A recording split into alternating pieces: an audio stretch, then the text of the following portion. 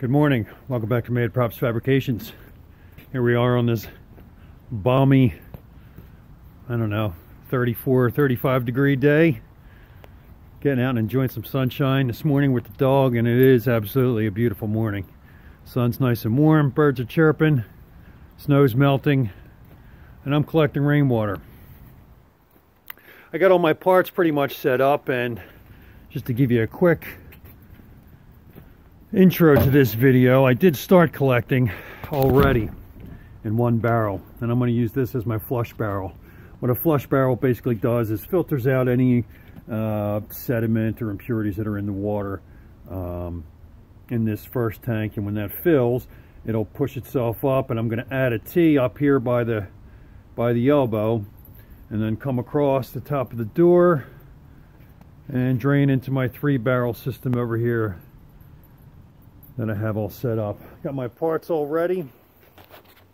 I use 2 inch PVC to connect these three. Uh, it's going to come into this 2 inch outlet up here.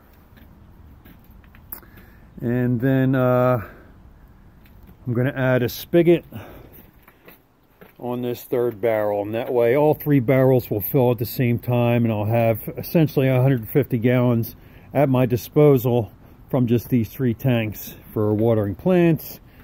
Uh, mixing up some sugar water when the bees get here. This will also be available to use and that water will be just fine.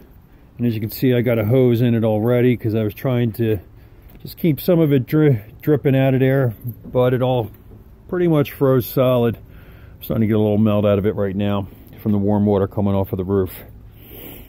Uh, and that just empties out over here for the time being. That'll be disconnected and it will come back to uh, uh, the other three barrels and I'll use that for my watering. So I'm going to do some assembly, make a couple little videos along the way, tie them all together for one complete video. Uh, and I'll have that posted on my YouTube channel. Hope you're enjoying this beautiful Sunday morning. Enjoy the game later if you care. If not, uh, get outside and enjoy it. It's, it's gorgeous out. Thanks a lot. See you soon.